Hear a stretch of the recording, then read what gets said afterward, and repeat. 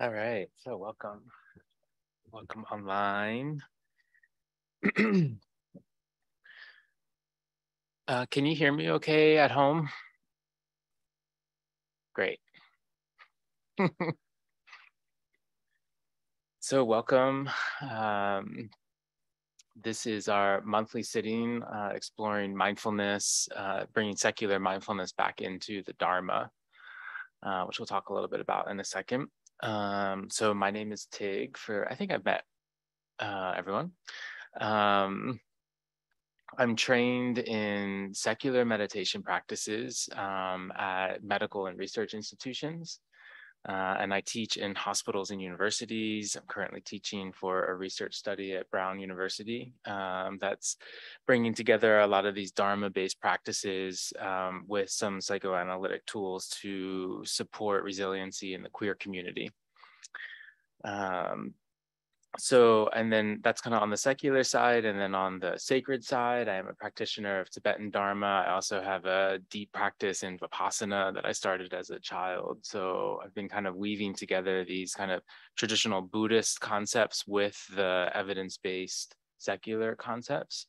Uh, and that's really the where this class came from of kind of exploring the best of both and it's not to pit each other against uh, pit them against each other. It's not to say that one is better than the other um, but it is to acknowledge that um, in the west mindfulness has been pulled away from the dharma and so this is kind of a way of bringing it back in. Um, we are at the san francisco dharma collective community run organization um, I was just saying to Noam, uh, I was really enjoying the concert that was here on Friday night. Uh, it was just such a feeling of community. It was one of the first times that I really felt that uh, kind of coming together in in the space. Even though we've had sittings here, it just felt like well, we're gathering for not just practice, but also kind of entertainment and music and um, so really loving the, the vibe of the Dharma Collective. Um, we are supported by Dana. Uh, so any donations go to teachers and keeping the lights on. And thankfully tonight, the heat, it's a chilly night in San Francisco. Um, so any generosity that you can afford to offer the center and our teachers is greatly appreciated. Um, so for this is our third class in this uh, series. And the first one, we talked about the definition of mindfulness and how in the sacred uh, traditions, it complements the kind of um, secular definitions of paying attention to the present moment on purpose um, and without judgment. And then we explored uh, attachment um, so the craving and the um, clinging to things that feel good. I'm just going to pause for a second and ask about that. Okay, great, great. Great practice for aversion. Hype. So if you can't hear it at home, there's a bit of a high pitched noise in the space right now. Um, so anyway, we were talking last month about attachment and kind of looking at how um, the secular and sacred come together to um, hopefully potentially find a path towards a healthy attachment or secure attachment. Um, and so tonight we're going to be looking at it from the opposite side of aversion. Um, and so we'll talk a little bit about the Dharma um, and, and what the teachings are in terms of aversion, um, but also a lot around avoidance and how we teach that in the secular format, and then we'll kind of bring them together. So um, we're going to start, as always, with a mindfulness practice. So we'll sit for about 20 minutes. Um, this is a practice that's called choiceless awareness. Um, and so a lot of times in mindfulness, we choose one anchor in our sensory experience and we focus a single point of concentration on that one anchor uh, mind wanders and we come back to that anchor, knowing that the mind wandering is actually the mechanism for us to strengthen the neural pathways in our brain to be present. So we want to embrace when the mind wanders away as an opportunity to practice bringing it back. With choiceless awareness, we'll start with an anchor, but then we will start like um, uh, eccentric, concentric circles expanding outward. So we'll start with sensations in the body, and then we'll include sounds, we'll include thoughts, And then we'll just rest in an open awareness, let the mind move as it will. So it might go from a sound to a thought to a feeling in the body. At certain times, we might be able to be with multiple senses. Um, so as always, just check it out, see what the practice is like, knowing that there's really no wrong way to practice. The um, the right way to practice is already done. We're here. So uh, let's get ourselves set up for um, just under 20 minutes of practice. And so making that transition from the world of doing and striving and goals into a period of just being with an intention to be present and no striving or judgment here. So, starting to create that space for yourself to practice in, whether you'd like to close the eyes or perhaps soften the gaze down to a surface in front of you. And let's start just by noticing what's here. What, what energy are we carrying into this practice right now?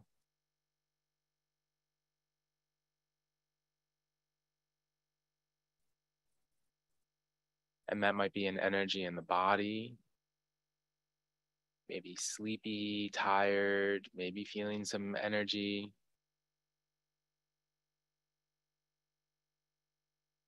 Checking in with the energy of the mind.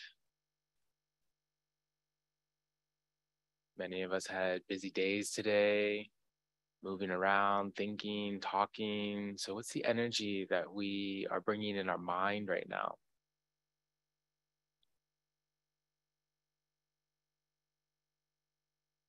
And we're just checking in. We don't need to change or fix anything. No right way or wrong way of being right now, just noticing.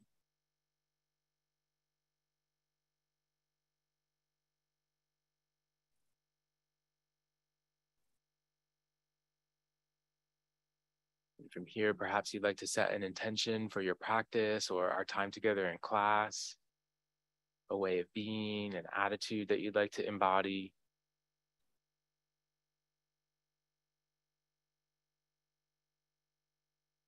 Maybe that's to be present, to be open. Many of us have taken teachings on aversion in the past, so maybe bringing a beginner's mind.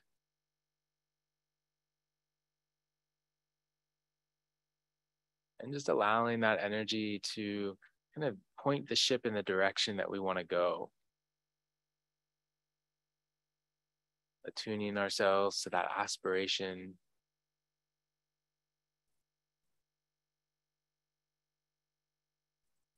And then as we start to transition into the main part of this practice, letting go of that cognition and allowing the awareness to drop down into the body. Perhaps feeling the contact of the chair, the floor,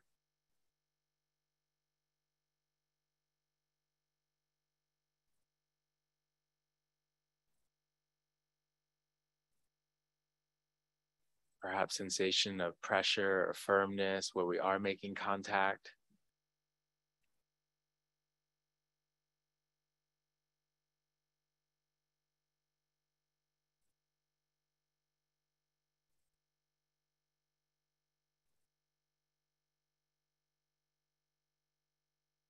just staying here for a few more moments, exploring, being curious of what it's like to be seated right now,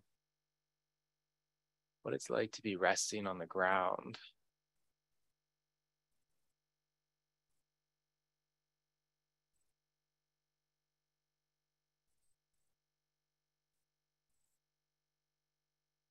And keeping part of the attention anchored in those sensations. And the other part of the attention beginning to broaden the awareness to include the legs noticing any sensations here in the legs, a pulsing, a tingling, contact with fabric.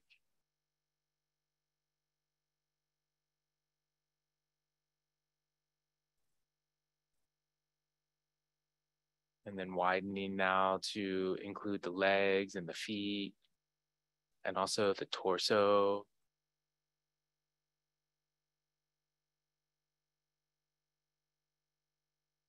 now including the arms. And you might be scanning for specific sensations, whether they're pleasant or unpleasant, or maybe it's just an awareness of the body. Now including the neck and the head. So just resting for a moment in the entire somatic field of the body.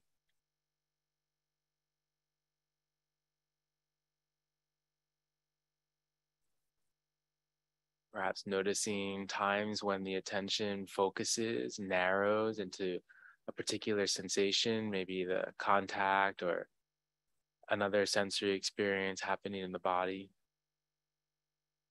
And then zooming out. So perhaps noticing this narrowing and then opening of the awareness. Concentrating and then expanding.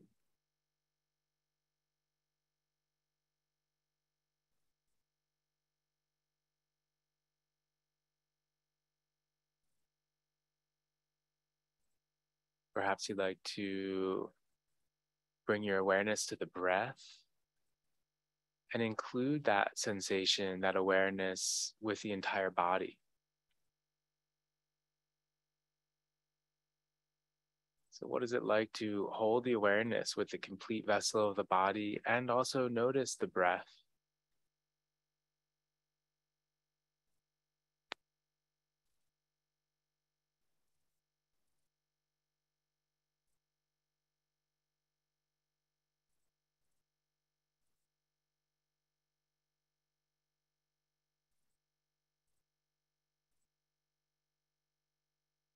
And noticing times of the narrowing and then expanding of the awareness, and also times where the mind may move away from the body, get lost in thoughts or other experiences that are happening. And just an offering to remember that that mind wandering is not a problem in this practice. We just notice and gently return back to an awareness of the body, the symphony of sensations happening with inside it. The contact of the chair, the sensations of breath.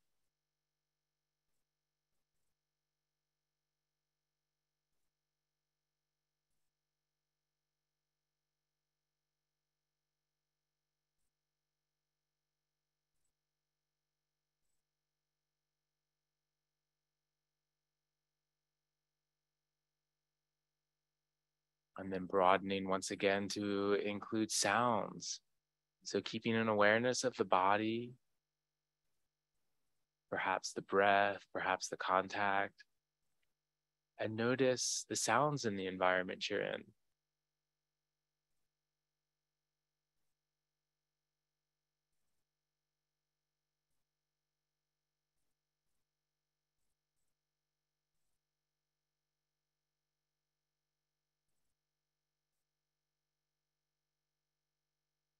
And sometimes this may feel confusing, not sure where to place your attention. Just letting the mind move between sensations in the body, the breath, the sounds.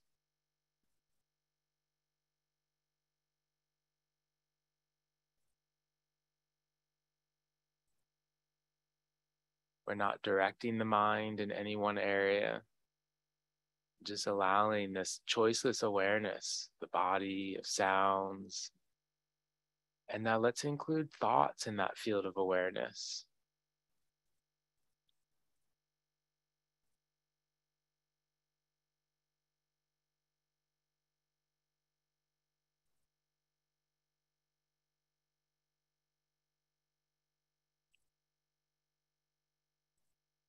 It can be helpful to think of the awareness as an expanding bubble, incorporating everything that's happening inside that field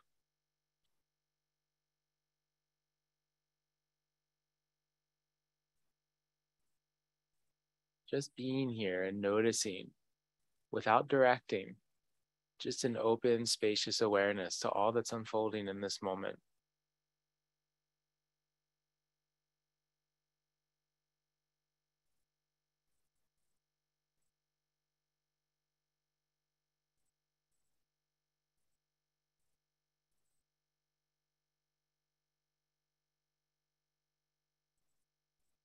If the attention does narrow on one aspect of the experience, that's not wrong or bad. Just noticing that that's what's happening and perhaps inviting that broadening once again, opening up, expanding that bubble to include everything that you're noticing in this moment.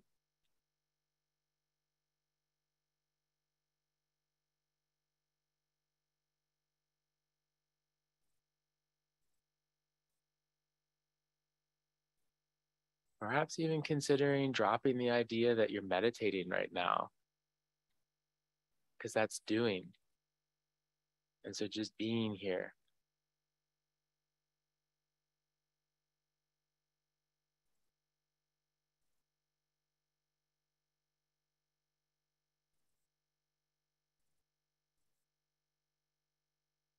If at any point this becomes confusing or disorienting, you're certainly welcome to come to the breath or the sensation of the ground beneath the body to anchor your mind.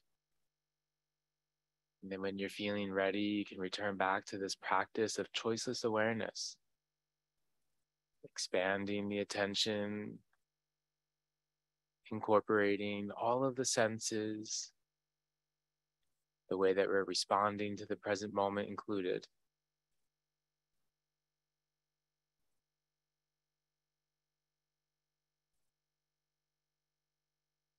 And so we'll practice in this way for the remainder of this formal meditation, resting in silence, just being with this choiceless awareness.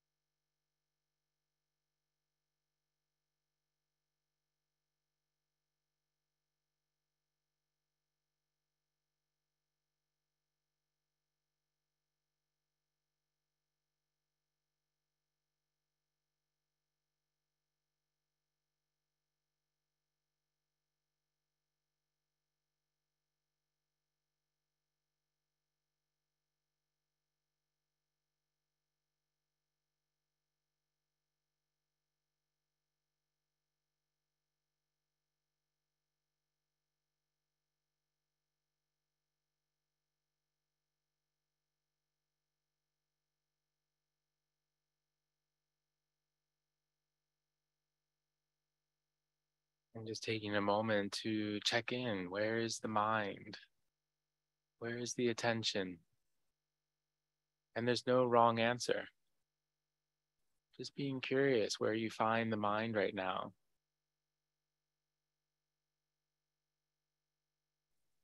And if it is concentrated on a particular sense, perhaps inviting that broadening, that expansion of the awareness to include the body, the breath, sounds, thoughts.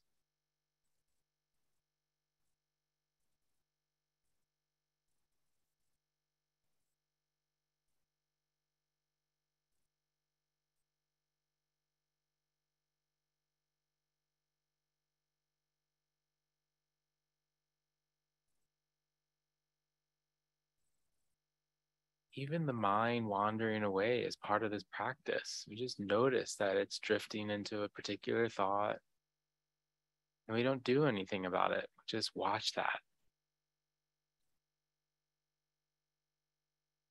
And then maybe it will lead to another thought or an emotion, a sensation in the body, and then a thought.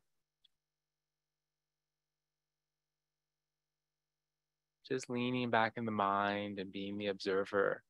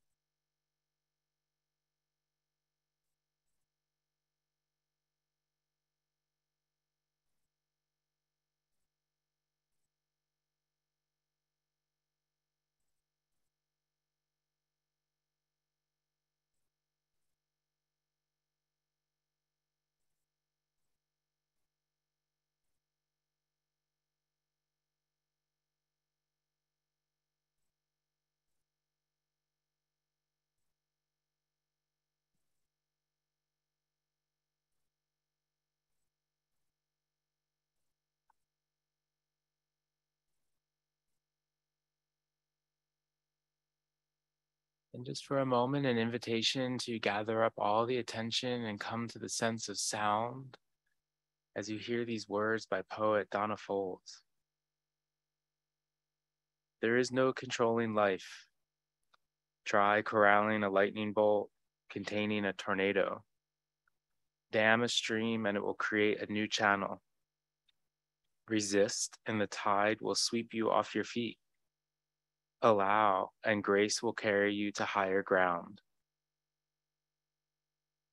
The only safety lies in letting it all in the wild and the weak, fear, fantasies, failures, and success. When loss rips off the doors of the heart or sadness veils your vision with despair, practice becomes simply bearing the truth. In letting go of your known way of being, the whole world is revealed to your new eyes.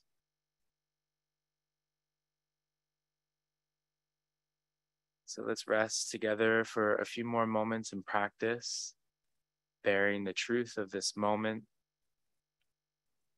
allowing being with this practice.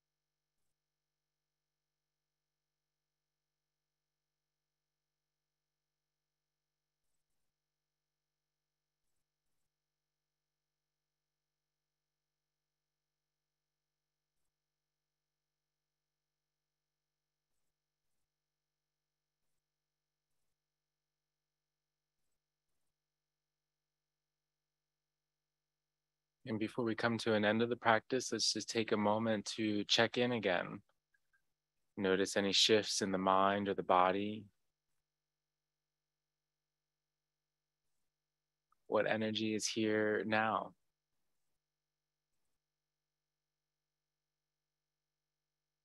Perhaps that practice was calming and grounding. For some of us, it may have been irritating and annoying may have agitated us. Simply bearing the truth of what's here now.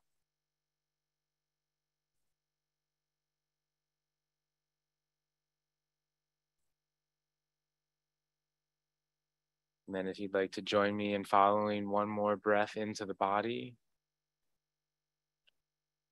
And on the exhale, letting go of the air, releasing that practice, taking time to return back to open eyes if you had them closed, and inviting any movement or stretches that would feel good to help make this transition into the next part of our class. Mm.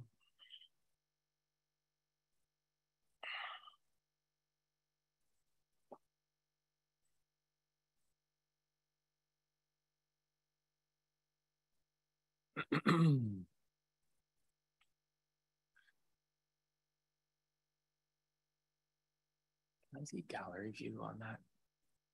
Is that possible or no? Okay. Um, so I'm just curious if anyone wants to share what that practice may have been like, what you noticed, uh, what came up for you as we were practicing that choiceless awareness.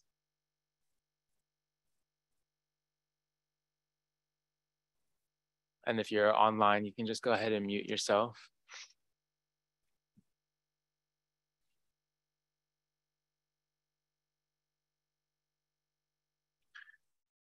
What did you notice?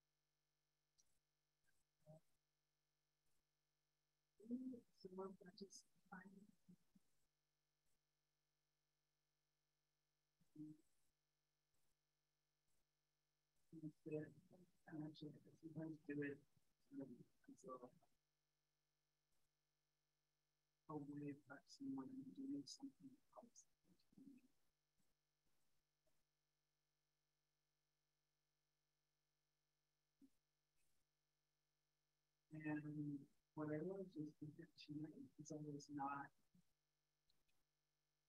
well, one thing is that I wasn't really noting what my intention was.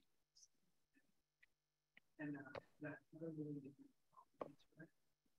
And I think I'm also tired of but it's a very different practice.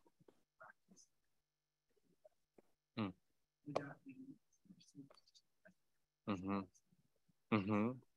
Yeah. Did you all hear? Could you hear that online? No. Okay. So Noam was just describing that um, he practices that often, um, and many times it's more of like an applied practice, like riding a bike or something like that, or just kind of noticing. Um, and he was reporting that tonight he's feeling a little sleepy and tired, but that practice felt restful. Any thoughts on why that is?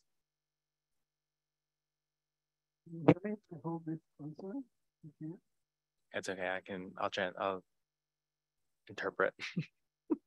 um. Well, I wasn't noting. Yeah. Mm-hmm. Mm-hmm. Yeah. Yeah. And a lot of times in the open with that spacious awareness, there's a feeling of like not having to control or direct. It's just open. So a lot of times it might feel like a single pointed concentration might feel like work. Like I you know, these uh, Ryan Redmond calls it the meditation scars of like really focusing. Mine are pretty deep. uh, but in this practice, it's not that. It's just this kind of like spaciousness rather than this focus. And so I can see how that could feel very restful. And it would be interesting also to play around with that noting or not noting in a, a standard mindfulness practice. Just see what that's like. Check it out. Yeah. Thanks for sharing that note. Anyone else? It doesn't seem like it's working.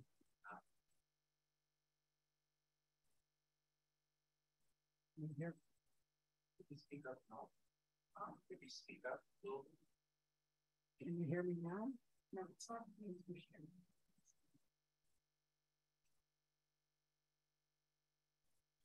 Yeah, that's fine. Well, so one time actually we were having after the morning sit, we were having a conversation about sleeping, and you were a part of it. No, and I, I hope you don't mind me saying what you had said, which was like you took a stand that sleeping is not meditating. So, anyways, um, but occasionally, and it happened to me tonight, I started to dream. I was dreaming, but like my head was not. I was like in my in my pose, and I was. I kept coming in and out of that, and I actually sort of similarly found it very the the meditation to be very restful and pleasurable. Hmm. And so there was a moment where it, it just occurred to me that I don't know if it's dreaming. Maybe it's a vision. I don't know. But it was, but it was pleasurable. Mm. whole experience. Mm. Mm. Uh, Daniel. Yeah. So Daniel was just describing um, an experience, uh, something that someone had said before about sleeping is uh, sleeping is not meditating. So the kind of the difference there. Um, but uh, he was describing um, the same quality of restfulness. Um, there was kind of a almost it sounds like a lucid kind of drifting into dreaming, but not really sleeping. Still be able to maintain the posture. Were you aware of the dream? Were you aware that you were dreaming? No. You're in it.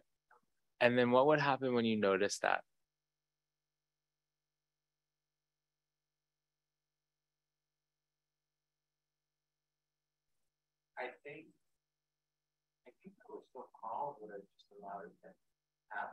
Allow. That's the name of that poem that I read. Allow.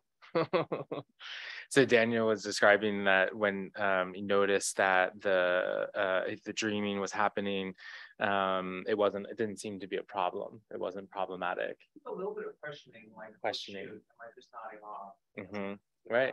Yeah.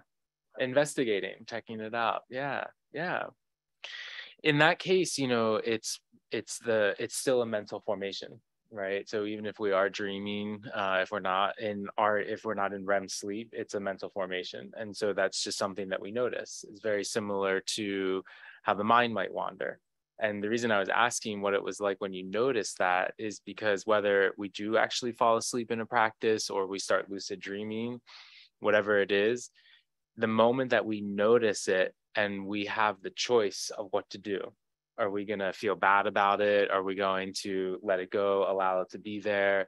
Are we going to return back to the practice? How are we going to return back to the practice? This is all what you know we know from science that's engaging the prefrontal cortex. How we handle the mind wandering or drifting into a dream state or drifting into sleep is what strengthens the neural pathways um, so that we can do the same thing in life. When stress happens, we open up space for choice. How are we going to respond to this? So, great practice.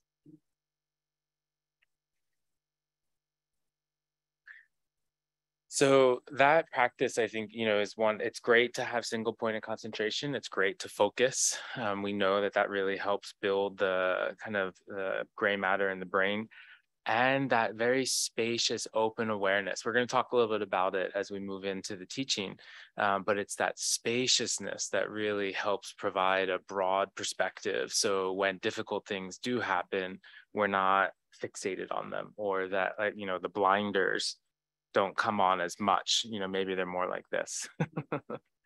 Um, so check out that choiceless awareness practice as no mention it's something that you can also do very easily when you're out and about you know when you're in a meeting or you're walking down the street and just broadening the awareness to include all of the senses or as many uh, that are coming forward and not really directing the mind in one way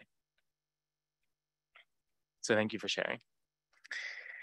So tonight we're going to talk about aversion and avoidance, which means that um, in order to kind of deal with these topics, we have to acknowledge that there is discomfort. You know, we want to be averting our attention away from something, or we want to be avoiding something. And so this is our first noble truth uh, that there is suffering. There are difficult things that happen in life. This is part of this is part of the game and so, what I want to start our kind of explore of this just with a very brief uh, reflection. So, this will just be a couple minutes. You can stay seated exactly as you are. Maybe you'd like to close the eyes, maybe just soften them a bit, lower them down. And if it feels comfortable, I'd like you, I'd like to invite you to call to mind something difficult that's recently happened. Maybe not the hardest thing, maybe not something that's going to trigger really powerful emotions right now, but just something uncomfortable or unpleasant that has happened or maybe even is happening right now.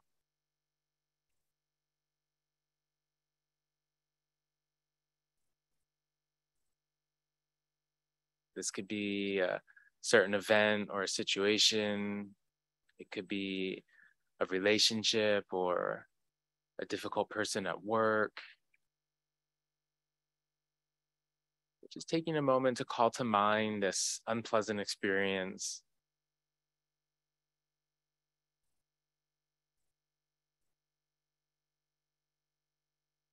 Maybe taking a moment to visualize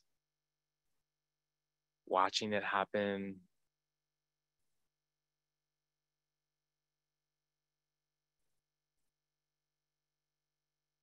And just notice what starts arising as you hold this difficulty in the mind's eye.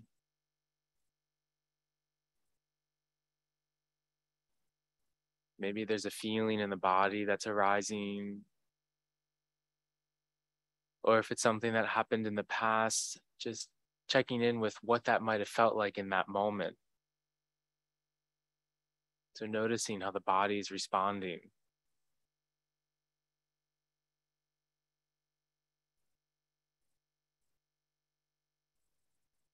And checking in with the mind. What's the story here? How are we interpreting what's happening?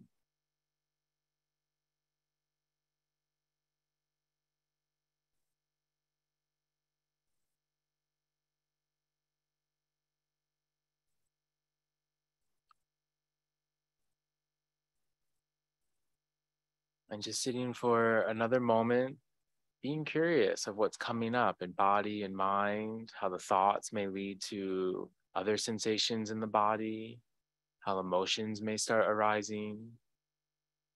And either that's happening now in this practice or it's a memory of something that happened before. How did you respond? What did it feel like? And what were the stories, the thoughts that were unfolding in that moment?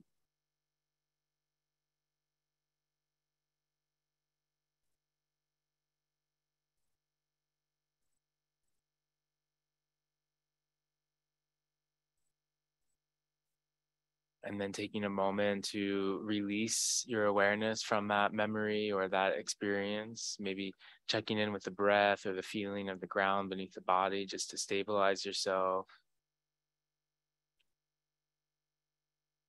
And then as we come to an end of that reflection, returning back to open eyes if they were closed.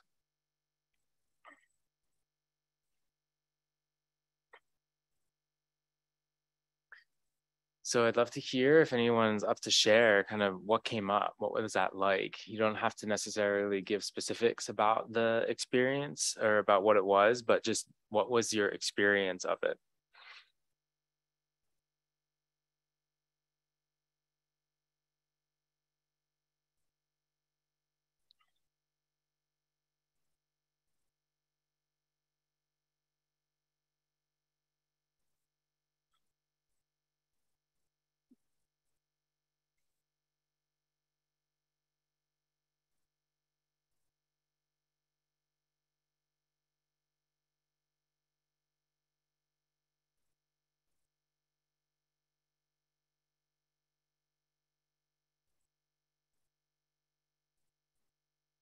Maybe it's even sitting in awkward silence.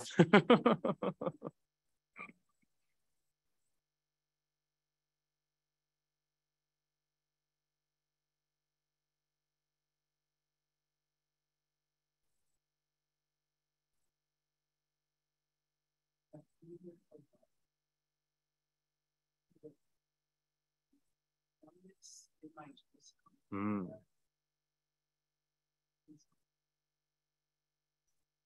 Yeah, yeah. Noam's describing a, no, a numbness in uh, his torso. And then what happens?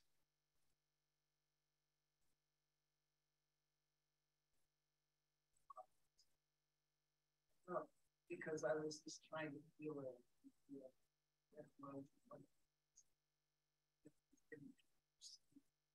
You started thinking about it. And were there some some thoughts behind it? Yeah, I mean it's it's it's definitely version. Mm-hmm. And then there's, there's for me in my life, there's like a movement toward it, it's it's a way of distracting. Mm. And Mhm. this isn't uh, like the pain, it's the distraction. Mm-hmm. That's Mm-hmm. Mm-hmm. So kind of di- diverting the attention. Yeah. So Noam was just describing that there's first this experience of numbness, this felt experience in the body. And then uh, he was reporting that it then became cerebral. He started thinking about it, um, but also in a way of potentially distracting self, oneself from feeling it. Did I get that right? I think that the numbness is actually a distraction. The numbness itself is a distraction. Yeah. Yeah. I create numbness. Mm. So almost a coping mechanism. Okay. Yeah. Thanks for sharing that. Does that sound familiar to anyone else?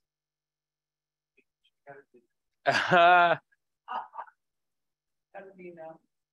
Because for me, I, I feel like I feel the pain or it's like pressure, a very uncomfortable pressure in my chest. uh-huh. So an uncomfortable pressure here. Yeah, Uh-huh. and and it, it's something that happened actually today that was act. It was difficult, but I was able to process it with someone. So Mm. enough space of, you know, that that's what I was working with. And I was able to see some of the story that for me had to do with this story of people being out to get me, the Mm. person was sort of out to get me, and I was a victim of the situation. And that I could see the way that I felt kind of um, very alone and a little bit um, like a little bit trapped. Mm. No, I wasn't. hmm It felt that way. Yeah. Yeah. Thank you for sharing that. So Daniel was just describing what started as a uncomfortable feeling in the chest, then kind of led to some narrative, some story around it, around being alone. And um, you mentioned that you were able to process it with someone, and um, was that after the you know yeah? So you went through that experience and then kind of reached out and yeah. Anything else coming up for anyone? Was it sounding familiar or different from anyone? How about anyone at home? Anything you want to share?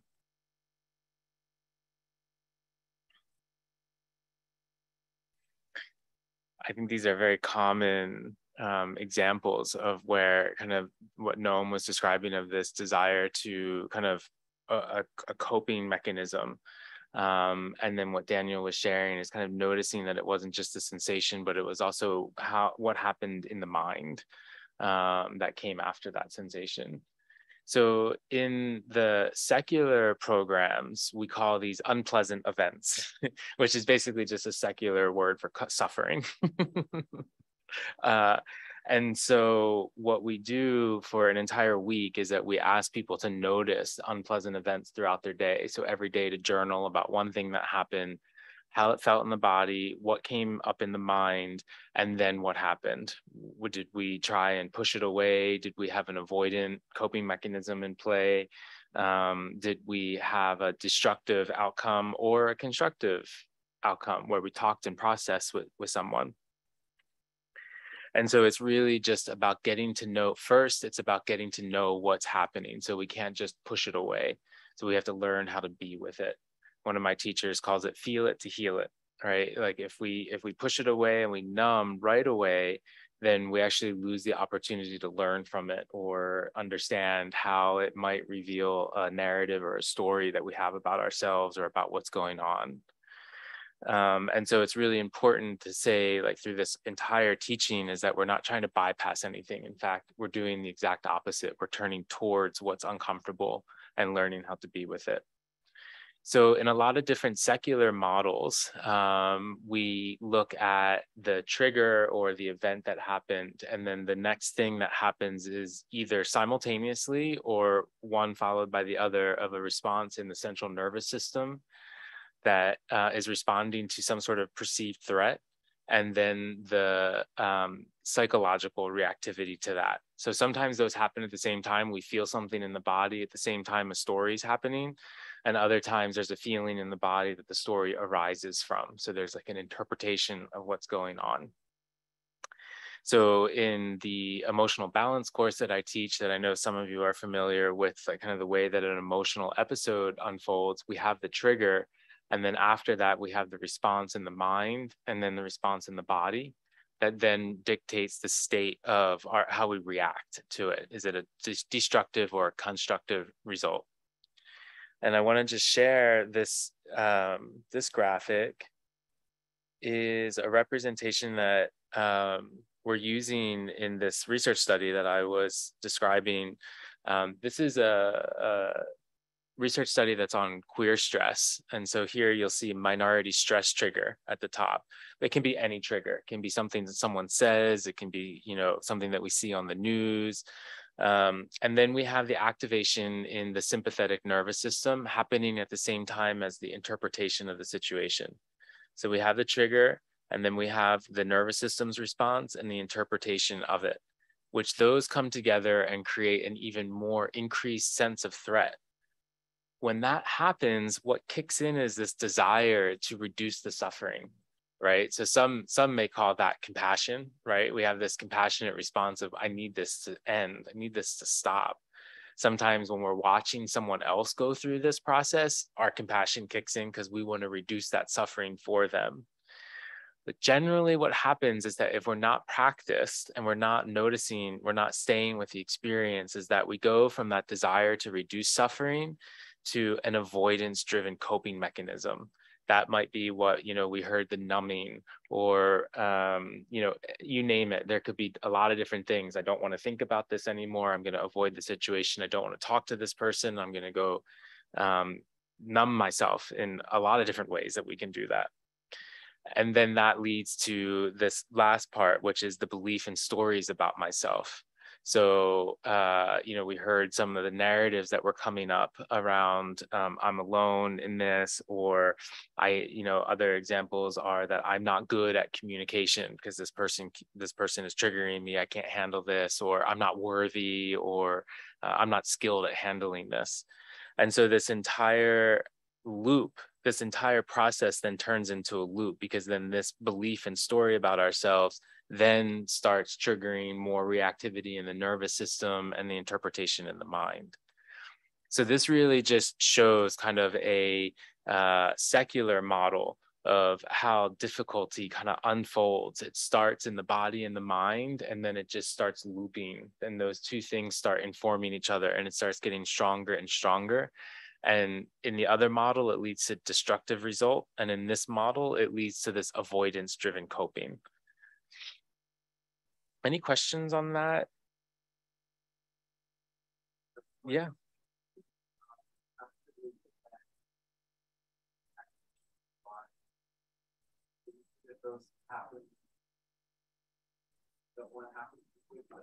Sometimes it could be a thought that then triggers a feeling in the body. Sometimes it might be a body that then triggers the thought, and sometimes they might happen simultaneously. That the thought and the narrative might arrive at the same time. That for me, that's what happens. My heart starts beating really fast when I get triggered, and then at the same time that I'm interpreting the situation through a different lens. It, it's different by person, and it's also different by example you know if it's something that's relatively mild it might actually be an interpretation before any kind of response in the body happens if it's something that there's an immediate threat and our fight or flight kicks in right away we might not even be having cognition about it we might already be responding in the body before we even know what's happening in our mind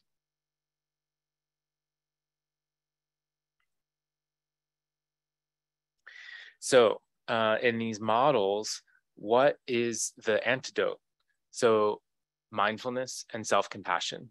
So when we teach the habit loop, and we're going to do, we're going to end our, our evening tonight with some self-compassion, is that right here. So if you can see my cursor moving, this kind of like this line from where that um, the activation in the sympathetic nervous system and the interpretation of the situation, this is where mindfulness comes in why do we do body scans? You know, you hear me joke a lot of times about like, why do we spend time in our big toe? Like, how is that helping us with stress?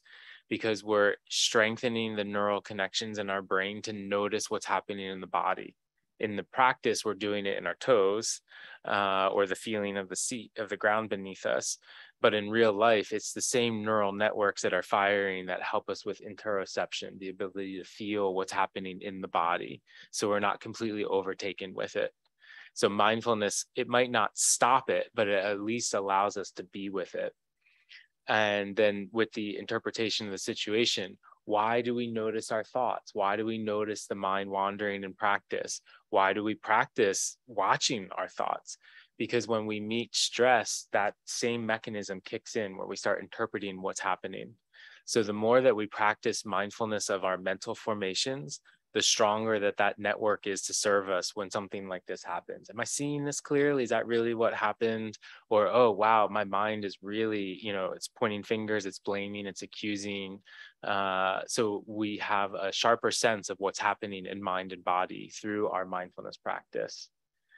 And then the compassion. So the self-compassion, what do I need? How do I need to nurture myself? If there's a response in the body, do I need to change my posture? Do I need a drink of water? Do I need to take a deep breath? Do I need to take a pause and leave the situation?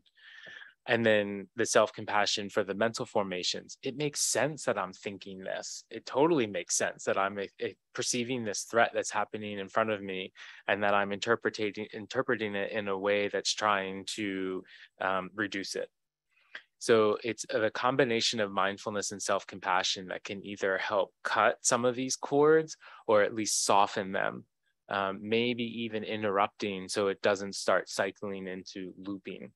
So the best way that we know to interrupt what's happening here in this kind of like chain reaction of thoughts and emotions and then the emotions go to feelings in the body that then we have more thoughts and it just starts becoming this cycle. The way to interrupt that is actually just by feeling it right? So if we just stay with the sensation even it's unpleasant we're interrupting this looping. We're interrupting this kind of spiraling that starts happening just by staying with the sensation. Mind goes back up into interpretation of the situation and we come back down into the sensation so this is kind of demonstrating where these practices or how these practices that we're doing tonight can serve us uh, along the way. So I want to talk for a second, that's kind of the secular model. And so I want to talk for a second about the Dharma and kind of what aversion means in the Dharma. So we have the three afflictions. We have um, confusion or ignorance. So we're not seeing clearly we have attachment and craving. So something feels good, we want more of it. And then we have aversion. So something that is unpleasant and we push it away. And so this is the the second noble truth, you know. So this is the root of suffering that it's our response to what's happening.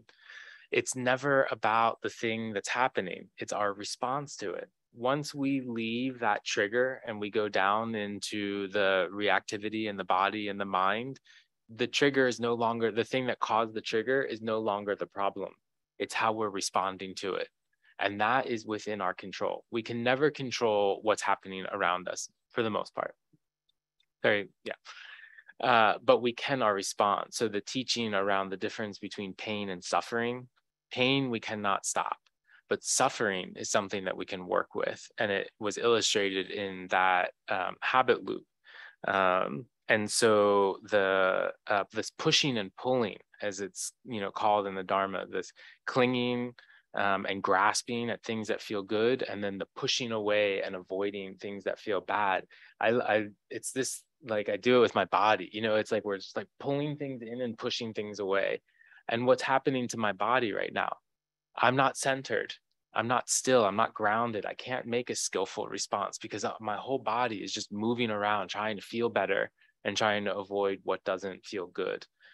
And so the reason why I wanted to bring this kind of merging of the secular approach with the Buddhist approach to this is because the the teachings on aversion is that that leads to it's considered the seed of hate the seed of anger the seed of fear so a lot of our afflictive emotions our destructive response to emotions come from the inability to be uncomfortable it comes from this pushing away. So it's not just simply about that nice graphic that shows how we can interrupt it. We're not just interrupting it for the sake of feeling better.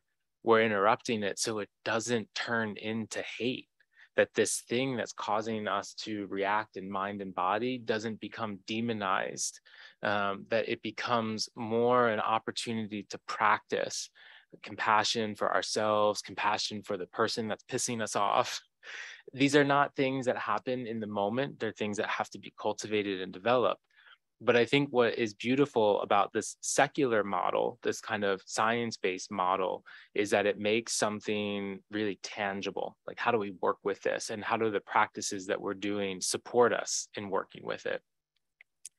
But then when we bring it into the Dharma aspect of that, it's not just for the benefit of ourself, it's also for the benefit of all those around us.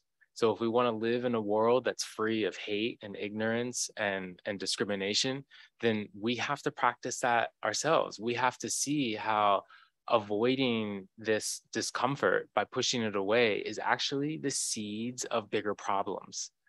And it might seem, you know, like a jump to go from a difficult conversation with someone to discrimination, but it's the same neural pathway you know, a lot of times I've been noticing when I say, what did I, I said, um, I was teaching the other day and I we were about to do a role play uh, in dyads, you know, where people had to like practice mindful communication. And I said, I hate role play. And I, it just came out when I said it. And I was like, that, even though it seems mild and, you know, like harmless enough that I said it because I'm talking about a mindfulness practice, that is the same neural connection that's firing in my brain that will lead me to hate another person. It's a seed. And so the more that I water that by allowing it to be there or pushing it away and not confronting it, like, why did I say that? Why am I so uncomfortable with role play? Um, why did I say that in the class? And just exploring that it helps not just cut the cord of reactivity, but it also cuts the seed of that of that hate and that ignorance that that the Buddha was teaching us about. So how do we practice this from a Dharma perspective? Because we talked about how secular mindfulness and self-compassion uh, help us with the, the habit loop and the avoidance there.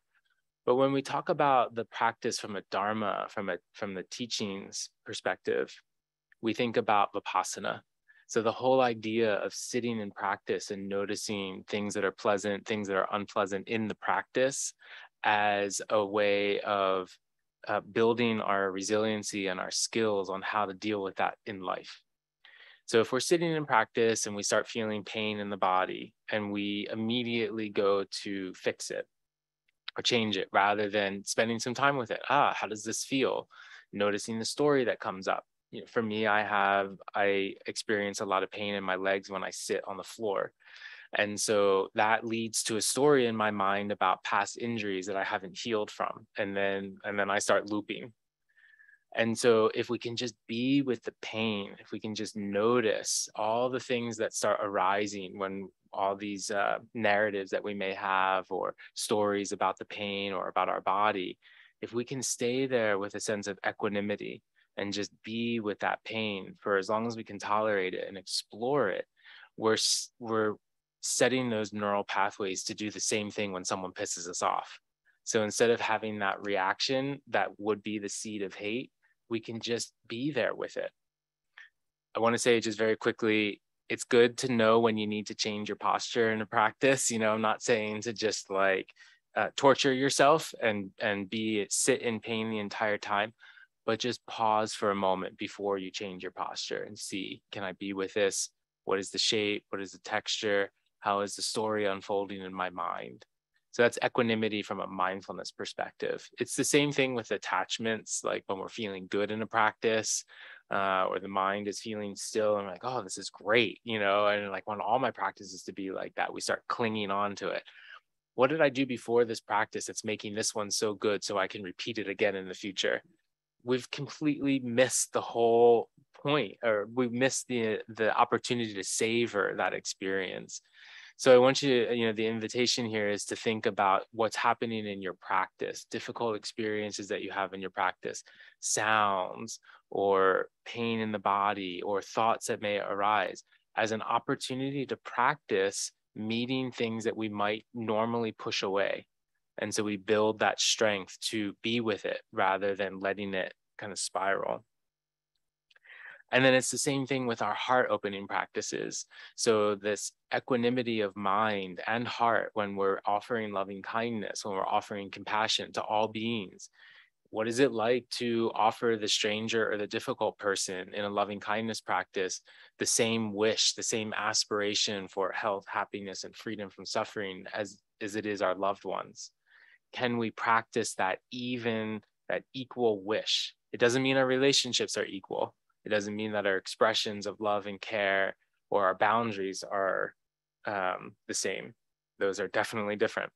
But the wish the equanimous wish. And the reason i'm bringing this up is because when we meet uh, in particular situations that are difficult with another person is that this is again the seed of hate. And so if we can be with that discomfort and maybe even wish this person that's bothering us or pissing us off either in the moment or later that night uh, aspiration for them to be free from suffering. Um, that we can find this kind of skillful response to cut that seed or it's another now like uproot uproot that seed so it doesn't grow into a sense of hatred So it's the same solution. The, the antidote in the habit looping that I showed from a secular format is mindfulness and self-compassion. And the antidote in the Dharma to aversion is mindfulness and compassion. So the two wings of the bird that serve both, whether it's a secular explanation of it or a more um, Dharma explanation of it. It's the same, it's the same medicine of being with, being mindful, being with the experience, and then applying compassion either to ourselves or to another person. So just taking a moment to pause and let that sink in for a sec.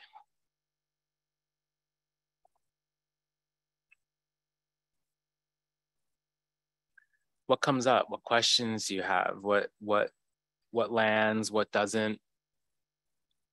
What resonates? That's a good question. Yeah, yeah.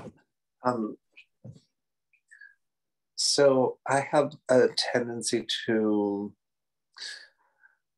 um, sort of stew or like um, I don't you know like wallow I guess in sort of like negativity I guess and I can like a lot like if I'm not careful like the feelings will sort of like negative feelings will become a what I'm just sort of living in. You know what I mean? Like, um, excuse me, um, to the point where I'm not able to really notice like good things that are happening anymore. But you know, I'm just I, the word wallow just keeps coming up. Like I'm wallowing sort of in depression or sadness, right? And so I so there's like a fine line, I think, for me anyway, between like sit like being okay with discomfort and sitting with uncomfortable feelings and then just like sitting like living with them you know what i mean?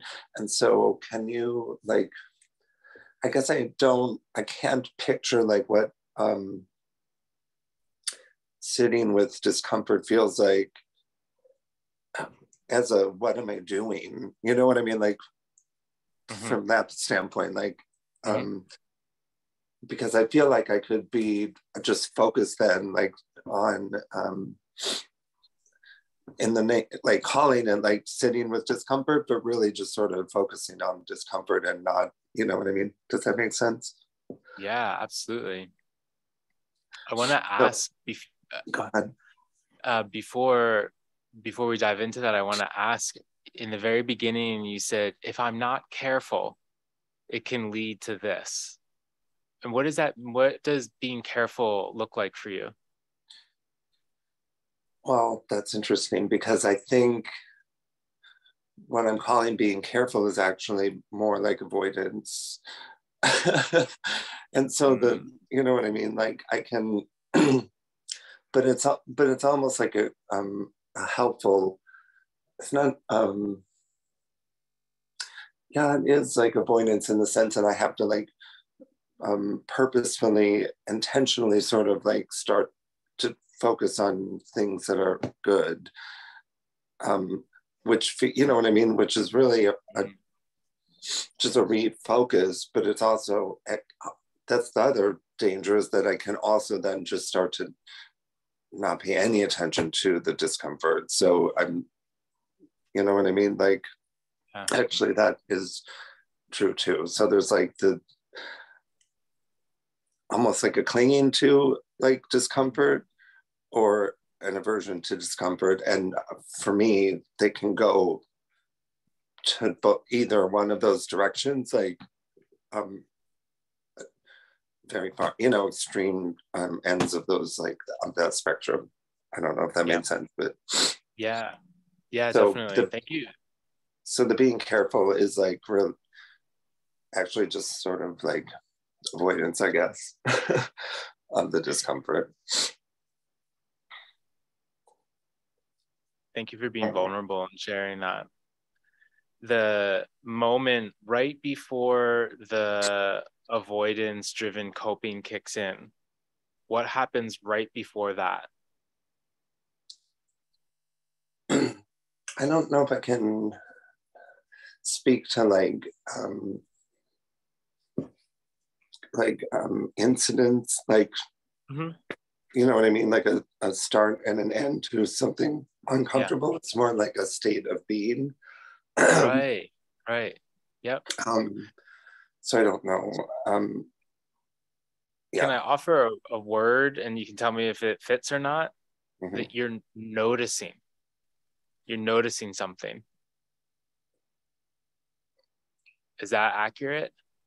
When, so like before, when? Before, before you push it away and avoid it, that you actually have, have to notice that something's there.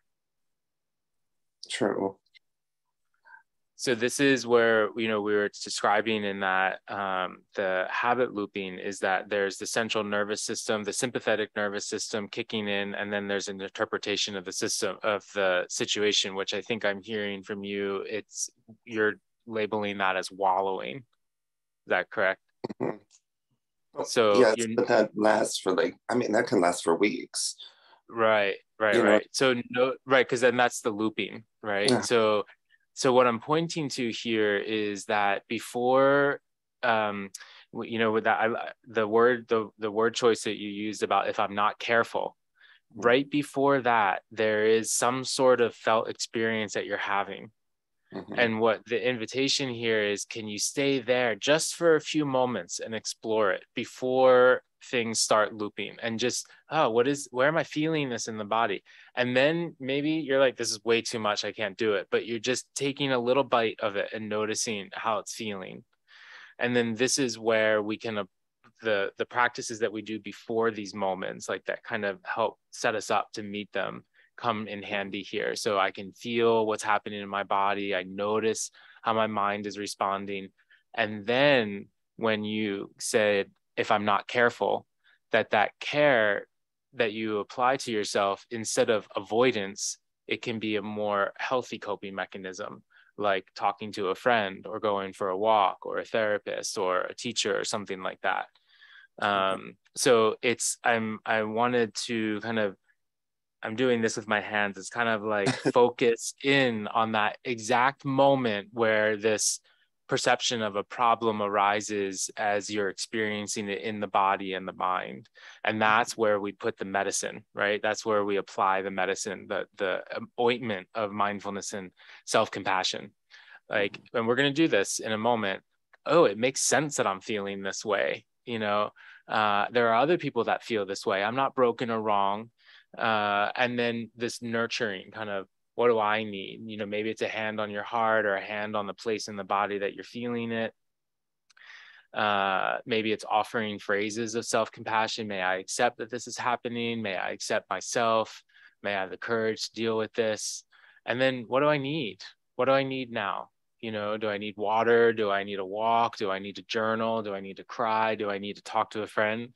This is just taking taking that that moment where there's like almost like a flashpoint where it becomes mm. problematic and almost like it's like zooming in on your phone you know like just keep mm-hmm. zooming in and zooming in and zooming in and you can see oh there it is and then apply the medicine there now to talk a little bit more specifically about uh, when it becomes too overwhelming whether it's in the physical or in the mind there's in the programs that I teach, we call it um, thresholds of experience or zones of experience.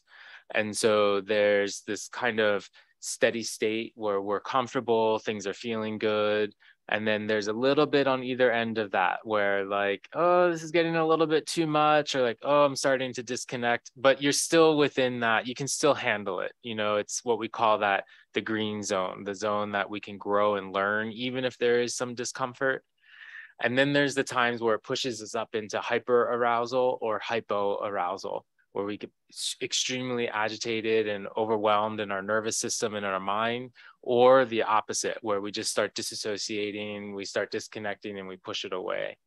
And so, in terms of um, practice, uh, that we just monitor where we are in those zones. Like, oh, okay, this is workable. This pain is I can I can stay with it for a moment. I might need to move in a couple minutes, but right now I can be with it.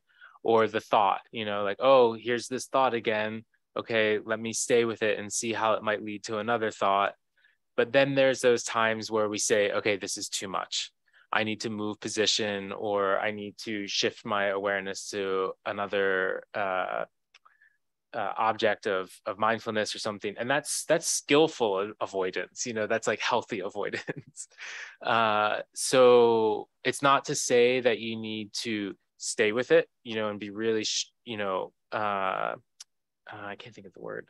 Um, disciplined, like overly disciplined. I like this word that they use in the Vipassana tradition of ardent determination. So can I be with this and can I stay with it? And then if not, then I change, you know? So that's, and I want to just be really clear, that's in the practice. What you're talk, what you might be referring to in in terms of outside of the practice this kind of starts going in the realm of, ther- of therapy, you know, and so I would say like I, I don't really want to comment too much on there, but with that being said, I do firmly believe that our mindfulness and compassion practices can help us not just in the meditations, but when we are having these experiences in life outside of it. Does that make sense? Yeah. Any, yeah. Totally. Yeah. And I think I think something is a little more clear to me now. Thank you about um, uh, what it looks like to like sit with the experience. So in the graphic, like there's the um, sorry everyone if I'm taking too much time, but um, like the activation of the nervous system and the interpretation that's happening, right? So sitting with the sitting with it is the noticing of that those things happening, which at some point are going to stop because they it's like it just stops. Like the reaction has an ending, right? so then that it would be the moment when if i'm not careful i can go into like keep going into the bottom part of the graphic right or i can right. just notice that now my body's not feeling that way anymore like you know what i mean like yeah yeah. so for me that's like the ending of that's the the line where it can be noticing can become live like wallowing. Right. Right? Yeah. That's so, that, that flashpoint. Yeah. Okay. I had this reaction when when you said that, you know, when you named that like that it will it will end, it will be over. I had this reaction to start clapping because that's amazing, right? That's like that's where, you know, impermanence really serves us. It's hard to practice impermanence when things are good. It's really easy to practice an awareness of impermanence when things are tough. Like this will be over one way or another. So, you know, I well done, you know, bowing to your practice that that led you to that insight because you did that yourself. You know, you got there on your own. So that's that's really insightful. Um yeah. Yeah. Thanks for sharing that. And you didn't take up too much time. In fact this is this is the teaching you know teaching through inquiry and helping understand the experiences that we're having. So you're you're you're teaching us right now. So thank you. Really beautiful. So why don't we practice a little bit of self-compassion to end our class?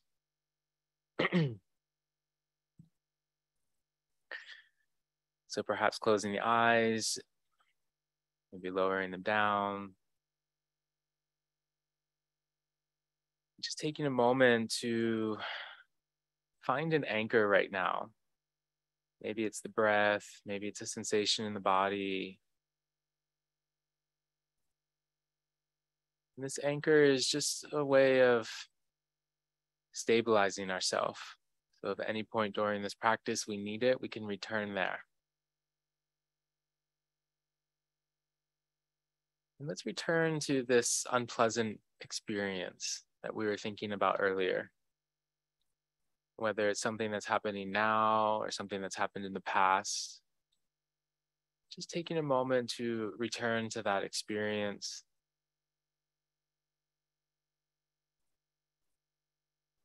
How it may be feeling in the body right now, or how it was feeling during the time of that episode.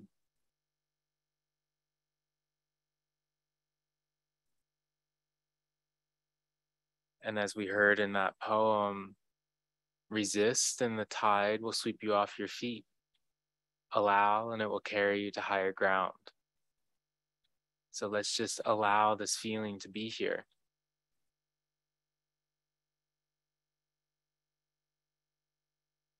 Another word for allowing is accepting that this is what's happening right now, or this is what happened in the past.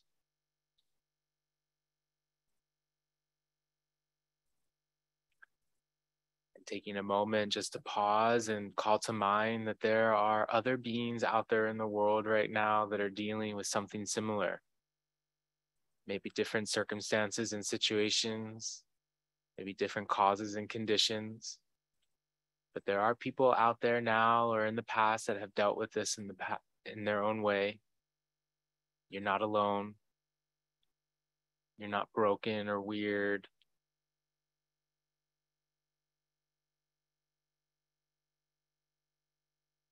and then returning back to our experience as we move into this offering of self compassion for ourselves. It makes sense that we feel this way. It makes sense that our mind is interpreting the situation the way that it is.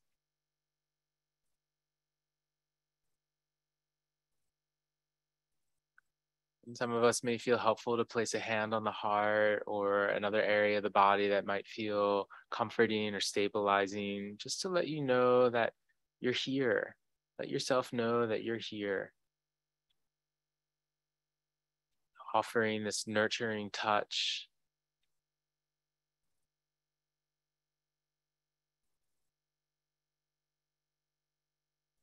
I'll offer some phrases that you may want to repeat silently in your mind, or perhaps just listen to the sentiments of these words as you hear them. But offering these aspirations as a gift to yourself. May I accept this moment exactly as it is.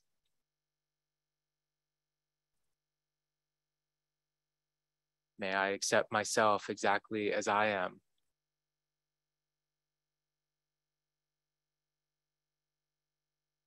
I have all the courage and compassion I need to meet this moment of difficulty.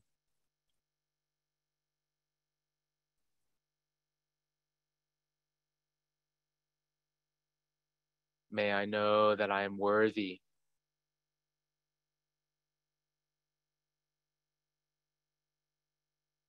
May I know that I'm deserving of self compassion.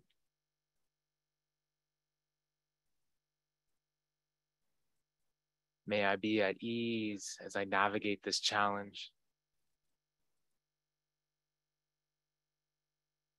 May I be free from the suffering.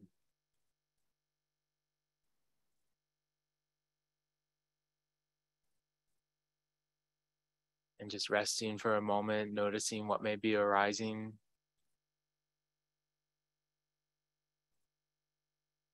Notice any shift that may have happened or in this practice.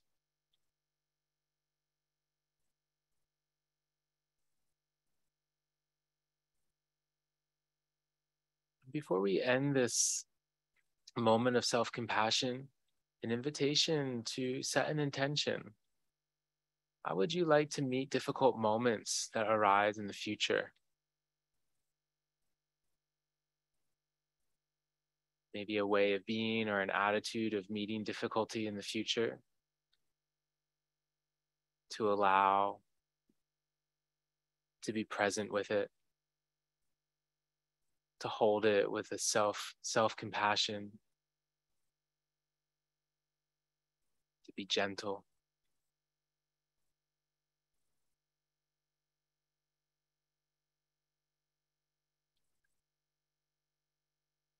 As we come to an end of that practice returning back to open eyes if they were closed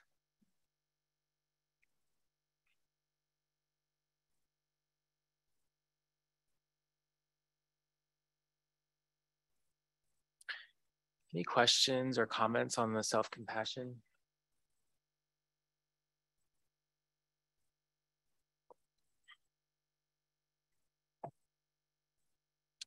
The one very helpful.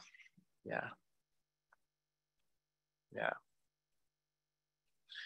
Um, one other thing that I, I, also wanted to offer is that um, sometimes in this teaching, it might, I, have said this before, it's like, oh, we have a magic wand and I'm just gonna like wish this away.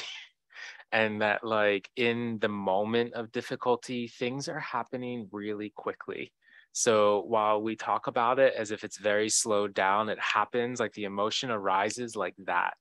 And so a lot of times it can be more supportive to work with something that's already happened than to try and apply these techniques to i mean it is helpful if we can but it happens so fast in the moment that it might actually be um, more accessible to reflect on something that's happened in the past and that kind of like zooming like you know the pinching like zooming in zooming in zooming in doing that with something that's already happened because things are happening so fast when our sympathetic nervous system gets triggered and there's hormones that are firing, adrenaline and cortisol, that it makes it really difficult to practice with it.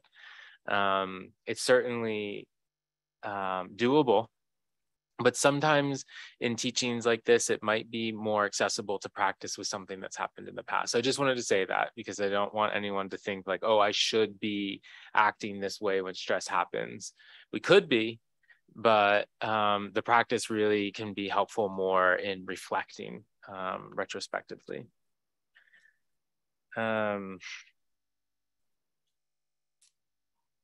I have this writing, this passage from Jack Kornfield um, that's a little lengthy, but I want to read some key points from it because I think it kind of like summarizes a lot of this blending of the secu secular and the sacred. Um, so this is from um, Vipassana teacher Jack Kornfield. Aversion, anger, and hatred are states of mind that strike against experience, pushing it away, rejecting what is pre presented in the moment. They do not come from without. This insight is a reversal of the ordinary way we perceive life. We believe outer problems attack us, things are wrong and people misbehave, causing our anger and suffering to arise. But however painful our experiences may be, they are just painful experiences until we add the response of aversion or hatred. Only then does suffering arise. So again, it's not the thing that's triggering us, it's our response to it.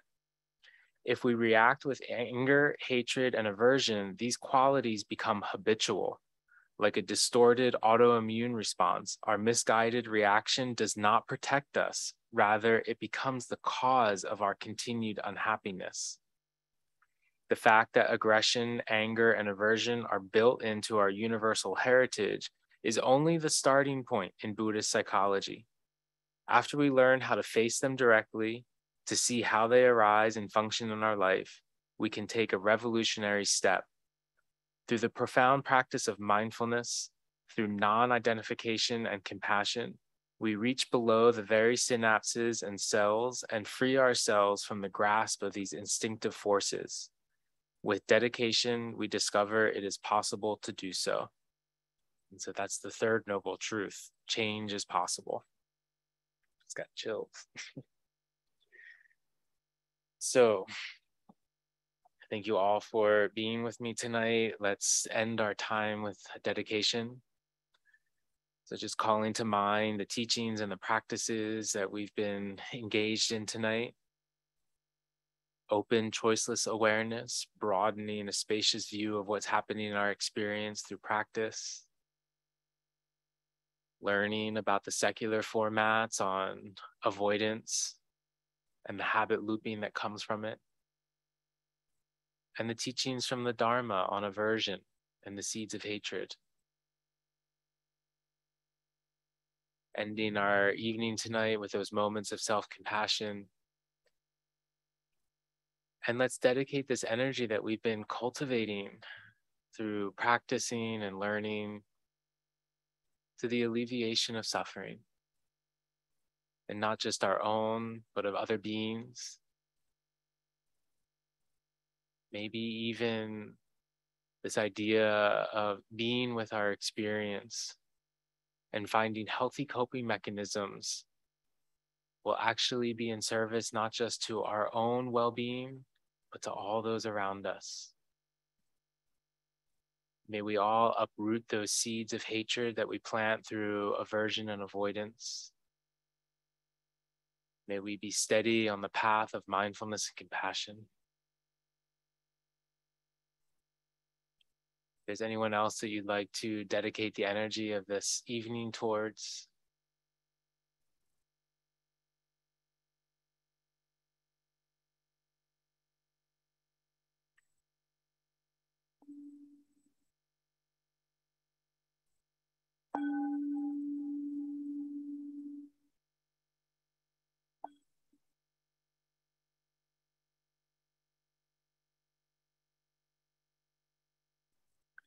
So thank you again for being with me here tonight and exploring this topic of aversion. If it feels comfortable to lower the head as a gesture of respect, not just to each other, but to our own enlightened minds.